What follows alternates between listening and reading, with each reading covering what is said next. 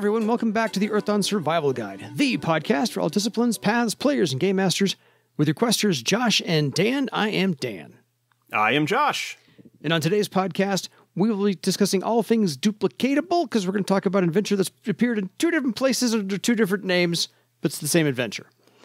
But we'll get there in a minute. So if you have any, any questions for us, please drop us a line at edsgpodcast at gmail.com.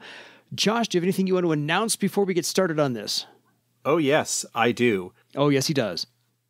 Assuming that nothing hugely, drastically, massively goes wrong, when this episode drops, we should have both Grand Bazaar and Deeper Secrets available in our shop in PDF, with the files having been sent off to our printer to get the physical copies underway. So you Kickstarter backers will have an yeah, Kickstarter backers, you should have received an update with the link with the announcement with the coupon code so you can get your copy from the FASA web shop. As of right now, as of uh, the time that we are recording this, Grand Bazaar, there are a couple of tweaks to a couple of pieces uh, of art, specifically map sections of the of the bazaar that we're waiting for. I haven't checked; they may actually already have been done, and I just need to drop them into the file. So that is like literally like 99% done. I'm just waiting for uh, some tweaks to be made to a couple of maps. Deeper Secrets, the book is fully laid out. All of the internal page XX references and internal hyperlinks have all been completed. I am working on the index, which is going to be very extensive we're looking at probably an index that is going to be like 30 odd pages all on its own. Um, hoping to do something pretty more advanced with the index in this book because trying to make it a little bit more useful by having a, a couple of different levels of things on it. But again, by the time this episode drops, that should be all done and out and released. If they haven't when this episode drops, they are the only one that would be waiting would be Deeper Secrets, and that would be very, very, very close to being done. And that yeah. means that something horrific came up that for some reason prevented stuff from happening. So yeah. that is the case as of this recording. Mm-hmm. And again, they should both be out as of the release date of this episode and probably have been out for several days. Fair. If not more than a week at the point that this episode comes out. So that's that that finally kind of put behind us, which means that maybe uh, depending on what happens, we might possibly have some limited physical copies of those books at, at the booth at Gen Con. Okay. That I do not actually know whether that is going to end up happening. I know we're going to have some stuff air freighted to us, but I don't know whether these books are going to be produced in time to go on that flight to arrive for the convention. Fair. That is update from Earthdawn Land, and a very, very happy update it is. well, let's, let's, actually make it sweeten the pot one more notch if we possibly can. For those who are not Kickstarter backers, how? What's the page count on Deeper Secrets? Deeper Secrets is looking to be over 600 pages when all is said and done. It will be the largest Earthdawn book for 4th edition that we have released. And that index is going to be like, I think I mentioned like 30 odd pages. Yeah. Um, I'm not sure yet whether it's going to end up being like 608 or 624 it depends exactly what the index ends up looking like. I've got kind of all the pieces of the index ready, and mm-hmm. I just kind of need to put them together and do some work Final on tweak. that and see what yeah. happens. That's going to be kind of long and tedious, and it's probably going to take me a couple of days, a couple of days of the work and the hours available that I have to work yes. on it. Fair. Love the update yeah. Love, oh love God, it. I love it too. I'm so.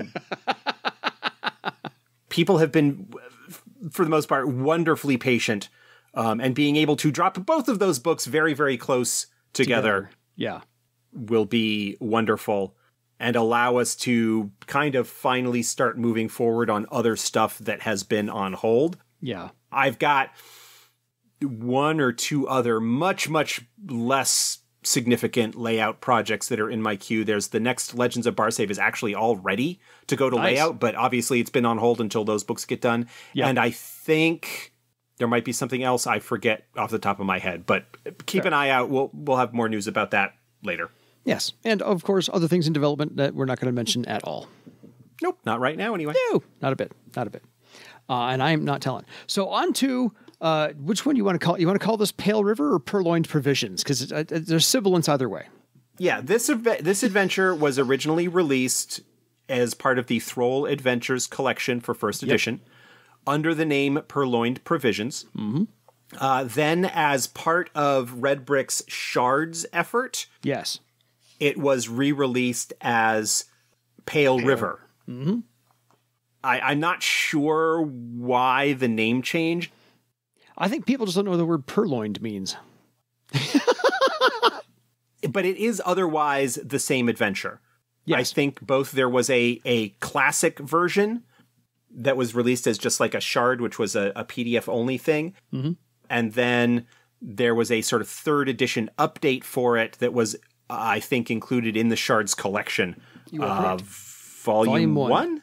Volume one. Okay, yeah. I have both books sitting over here, the Throal Adventures and Shards Collection Volume 1. I literally compared the two of them side by side. I can't say word for word because that's just tedious, but beginning and end was the same verbiage pretty much. The stat blocks and numbers, I think, are probably different between them because of the Yes. edition differences. But the story itself is the same, and so we're yeah, you know we're kind of covering both of them at, at, with that. exactly. The other main ver- main uh, uh, difference that I could find is that the original first edition version was written for six to eight players of fifth circle or higher, and the third edition version was written for three to five journeyman adepts. So five, six, seven, eight circle, but only three to five players instead of six to eight players. Yeah, um, that was something that just sort of in general you will have seen across any kind of published adventures for any role playing game, Yeah. not just Earthdawn. The number of player characters typically ends up being a little bit lower. Yeah. And, you know, say journeyman, I think again, that was probably in an effort to make it not quite as specific. Uh, in terms of that, there is quite a notable difference between fifth and eighth circle characters Yeah. in some regards. so lower journeyman is probably where I would place that again to kind of go along with the with the fifth circle Agreed. Fourth circle like upper like top top end of novice tier could probably handle this without too much trouble 5th Mm-hmm. sixth you know somewhere right around there is probably the sweet spot for Fair. this adventure Yeah. and part of that does depend obviously on the makeup of your group Agreed. Now, the last time I, I was running Earthdawn and my players, I actually had them in Throal and I was running the gamut of all the Throal adventures. So I have not run this one on them yet. If you are one of my players, stop listening now. No spoilers for you. Anyway, uh, so I, for all of these adventures and especially um, just all the adventures we've covered so far, I love every short story that has preceded the adventure. It just sets it up nicely. And this is no different. one of the things and this is similar not surprisingly to the Parlainth adventures collection that we went through several weeks back Yeah. This is a bunch of short adventures that are likely to be run in a single session with, broadly speaking, relatively simple, straightforward setup, setup and, and plot. Yeah. They provide hooks and ideas that might be worthwhile in a longer campaign, but generally speaking, these are just kind of one shot flavor providing situations. And one of the things that I actually find interesting about the collection overall, to talk about that before we get into this specific adventure, Yeah. this collection only has three adventures, whereas Parlainth Adventures had four. But two of those three adventures involve the deep caverns, the the Underground. domain of the Pale Ones, Yes. the area actually deep beneath Throal. Mm-hmm. And then the other one is also another one that deals with traditional exploration adventure type of stuff, just not going quite so deep. None of the three here really have much in the way of political intrigue or mm-hmm. anything that kind of relates overall to the kingdom itself. kingdom itself and the kind of stuff that might be going on there, which I find sort of interesting. Yeah. And I'm not sure what the situation might be. One of these adventures, and I'm not sure off the top of my head which one it was, but based on the order, Andrew Ragland, Yes. who wrote one of these three. Yeah. I So Andrew is longtime sort of uh, acquaintance slash friend of mine. I've known him since, God, I've known him all, near near on thirty years uh, at this point. Fair, because this was written back in '96 originally. So I'm I'm curious if this Yeah. was the Throal Adventures, uh, and maybe Lou can answer this question uh, on the, the Facebook forum. I don't know if the Throal Adventures preceded the Throal source book or came after, or was it I don't a simultaneous? believe so. I can find out really quickly though. Fair. Hold on. No, almost probably almost certainly not. Um, Throal the Dwarf Kingdom is oh, it was also 1996. So I was thinking like conti- like simultaneous development. That's why there probably wasn't.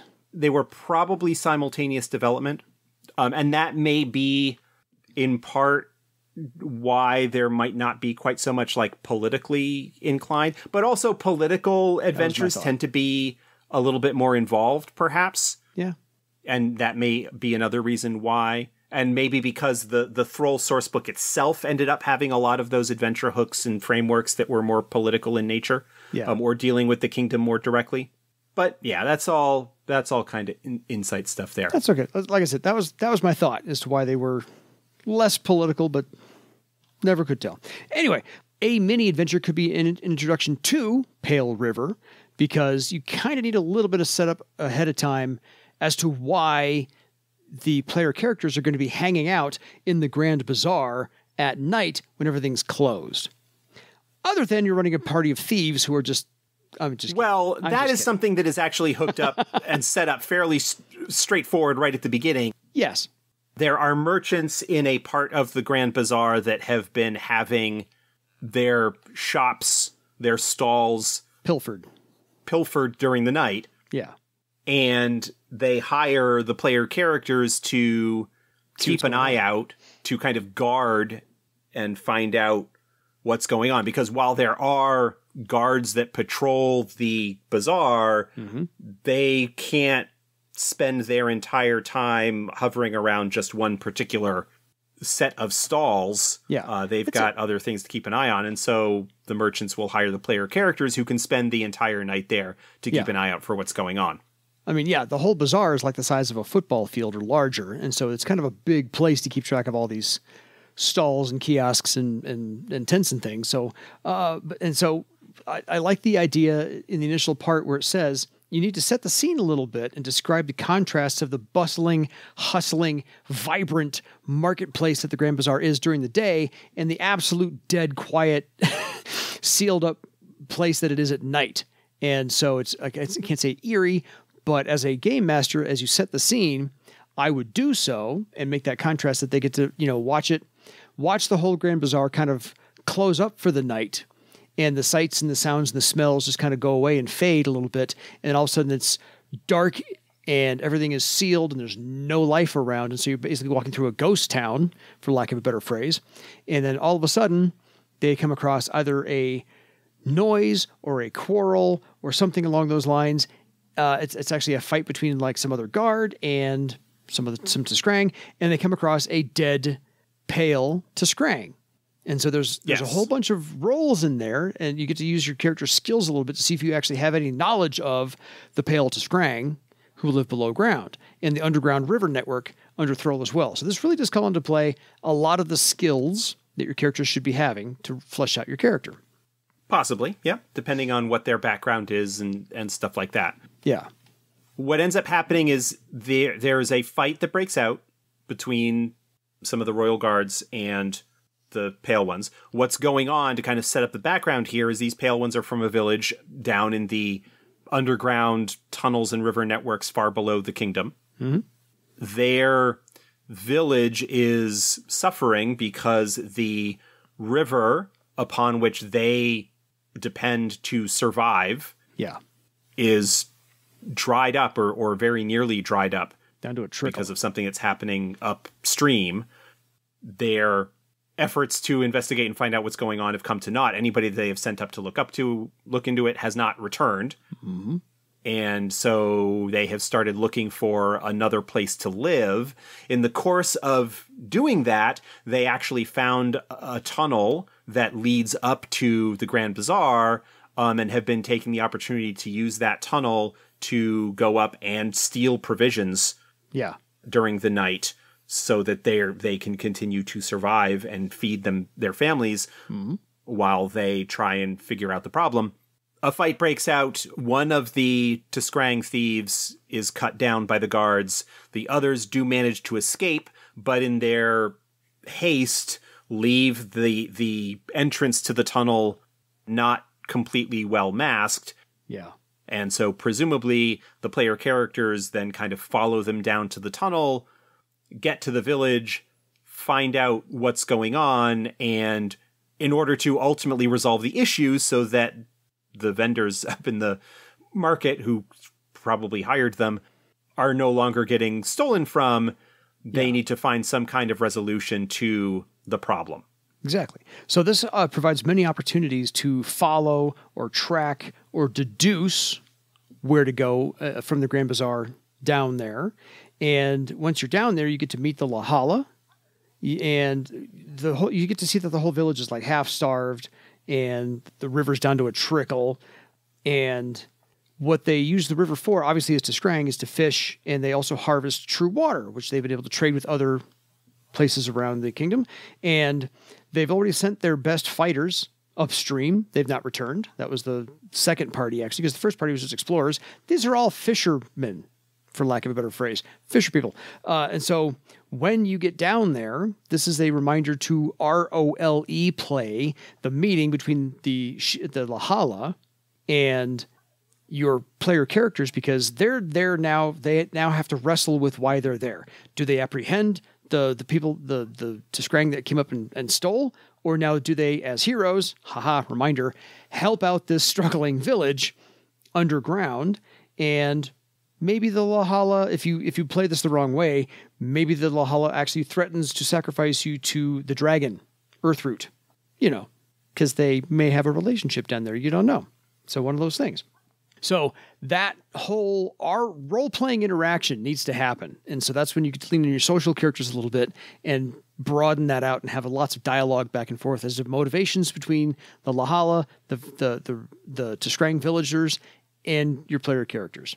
Yeah, and ultimately, what is presented initially as a kind of mercenary job where you're hired by some merchants to protect their goods or find out what has been happening to their supplies, Yeah, uncover that and discover the reason for it, and presumably being good guys, mm-hmm. being heroes, yep, will seek to try and resolve the issue, finding out what's going on. Oh, okay. Well, the problem is that your river is dried up yeah, and you haven't been able to find out what's going on. Let's go up and, and investigate that. yeah. And the Lala can offer payment because once the river returns, you know they've probably got some true water hanging around because they do have some orichalcum lace nets. Yeah, once they know that they're going to be okay, then they actually willing to reimburse the merchants Yes, for what they have taken because they have the resources again and you know reward the player characters perhaps a little bit as well Yeah. but essentially it's go down find out that there's a problem and now we need to resolve the problem Yes. and that basically involves traveling upstream Mm-hmm. having an encounter along the way with stingers. stingers which are underground semi-dangerous Badgers. animal. They've got poisonous tail stinger and, and poisonous fangs. Yeah, They're kind of nasty. yeah. You come across the dead bodies of the previous Scouting pale party. ones that had gone up to find out what's going on, the scouting mm-hmm. party and whatnot. Yep. Get attacked by Shadow man. some shadowmants. Again, Always. lots Yes. of poison in this adventure. So yeah, brush up on your darkness rules, your poison rules, and your investigation rules because you have to figure out some. Basically, it's like a you are traveling through the Underdark through the underground and running into the dangerous things that live there and seeing Yes. what those dangerous things have done to others. And then mm-hmm. you get to the source of the issue to discover that what has happened is that a small family of cave trolls Yes. one of whom is a beastmaster and another of whom is an elementalist, Yep. have dammed up the river. Yes. The elementalist has a water elemental that is basically preventing the river from flowing because it, it is working to their advantage. Yeah, they diverted it. Something needs to be done to resolve it. Combat ensues. Combat likely ensues. I ensues. the cave trolls aren't particularly easy to negotiate with. No. And ultimately it kind of comes down to a situation of How exactly do you solve this? yeah, the the the cave trolls aren't particularly interested in what's going on with the t'skrang. Um, Yeah. They've got their own thing, and it is likely to end up in combat because cave trolls aren't particularly bright or particularly interested in negotiations or or what they can get. Yeah. But ultimately, what ends up happening is that you need to dispel and or destroy the water elemental because that's ultimately what's holding the river back. And once that's done, then the river returns. And if the player characters don't think things through well enough, uh, they may get caught up in a Flood. sweeping flood where they get swept downstream in the course of things. I was I was gonna bring There's a nice up. picture in the um, Throal version, Yeah. the Throal Adventures version of this, of the water elemental, which is basically like kind of this big watery thing with like a face, essentially. Yeah. One wave kind of like makes like the mouth thing, and then other parts kind of make like the, the eye shape and I think they. I think they kept it for the shards version too. yes, that yep, they did. They did yeah, they kept all that. the artwork. Looks They like did. they flipped it the other way around. Yeah. It's the use of negative space in the gutter and all that. So Yeah, that's that's basically it. So, you know, you find out a village is suffering, you travel upstream, you deal with the problem with the river having been dried up, and uh, then you head back. yeah. There's some combat. You've got, you know, the fight against the stingers. You've got the fight against the Shadowmants. Mm-hmm. Individually, a stinger isn't a problem, but you've got a pack of like 10 of them. And I think the other part of it is that it happens on kind of a narrow ledge. Yes. So your ability to maneuver and whatnot is a little bit limited. Yeah. Know your combat options. But really the uh, so I like the the resolution and the dangling the dangling threads at the end which are where are the PCs when the river comes back with uh, such great force? Are they in the riverbed fighting or are they up on the ledge? So forth. So just keep that in mind. Um, and the other possible outcomes. Do they also go down a side trek and get trapped into the cave in? Or a place that's flooded and they can't get back out again, which means it takes them longer to get back to anywhere, including the surface.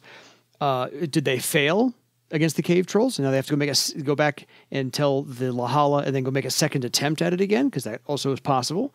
Did they find the enslave the the first scouting party? Because you only saw the remains of the second scouting party. The first scouting party is actually still enslaved, which you don't know this, by the cave trolls. So now, do you go back into the cave troll area and try and rescue them? That could be a second adventure. Do you therefore have to sneak in because you don't really want to take on an entire tribe of cave trolls? That may not be a smart move for you.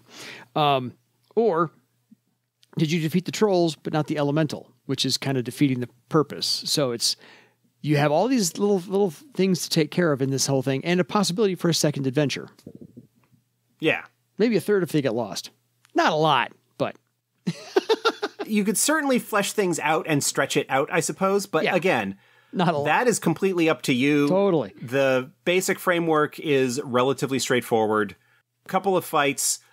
Another reason that things are likely to end up as a fight against the cave trolls is that the Shadowmants are actually sort of animal companions to the Beastmaster among Yep. the trolls, and he was expecting them back and assumes probably correctly that the player characters were involved in defeating them if they happen to be carrying parts of them for whatever reason because the stingers are worth money Yep. then that may be obvious and that may trigger a fight without any kind of negotiation Yes. being possible. You killed my pets. Prepare to die. Yeah. And then and then when they, when they get back to the surface, how do they deal with the merchants? Is is the is the uh, true water enough for them? Do they still want to see justice? Do they have you know? Do they bring back the? And that's part of the reason why the cave trolls were diverting the river Yeah. because they wanted the true water for themselves. Yeah. So I think it's a nice adventure. It's like I said, cut and dried, pretty quick. One or two sessions if you want to draw things out, maybe three total if you're playing a long time or playing a short amount of time. Um, I think the only thing to point out now, since we're playing fourth edition rules, are there any changes you want to make to the stat blocks for the first or third edition? Since this is now fourth edition, it, I, I think if you're playing fourth edition rules, just grab the fourth edition stats for the, all these creatures out of the books, and you should be fine. You know, what you would sort of need to do is figure out what additional abilities the Beastmaster and Elementalist cave trolls have. Fair. You probably kind of have to have it be an elementals because you're dealing with a with a water elemental. You know, my gut would say, oh, well, maybe make them a shaman, but then they don't have the spirit relationship with a water elemental to to do that. Fair point. But you can have like you know sort of a a, a more tribal elementalist situation Yeah. there with that. It's possible, um, again, if you're dealing with low journeyman and you've got an elementalist in your group, to potentially not have to kill the water elemental, but to to do something with it. So there are definitely some things that could be resolved there, and different ways that you could potentially approach the the actual resolution that is to restore the river back to the way that it was. Yeah. My only other advice for the game master, like I said, prepare, brush up on your darkness rules, your light sources, and your perception based upon those uh, limited amounts of Yeah. light down there. that is something that could potentially come into play your- um, when your you're dealing with and- the, the tunnels, especially if you've got characters that do not have low light or dark vision. You're going to need light sources. Dealing with a little bit of, a, of underground travel, go and check out our um, episode where we talked about underground exploration and some of the stuff that could be there if you are looking for ways to potentially expand on the stuff going on. If yeah. If things don't go great uh, in that final encounter, it's possible that the group could be stuck in a side passage and have to find their own way out rather than just simply following the river back downstream. Yes. Note: Firefly chalk is helpful. Yeah. this is a relatively straightforward, simple adventure, not Yeah. huge stakes. Obviously, like the fate, the survival of a village kind of depends on you succeeding in what you're doing. Yeah. But we're not talking about like earth shattering, fate of nations kind of stuff here. You do a good thing for some people who are suffering Yeah. and, you know, go from there. Yeah. It's like it's it's going to be fun to run this one. It is. But It's a nice little adventure. I've, I've run this. Yeah, I've not run this one, but I've run one in here. And we'll get to that one a little bit later on. So, uh, folks, if you have any questions or suggestions, or how did this one turn out for your party? Any major mistakes? Any glowing legend uh, enhancements? Please let us know. Drop us a line at edsgpodcast at gmail.com. And until next time, go cross the Rubicon for your legend. Nice. Have a good night, everybody. Deep pull on that one.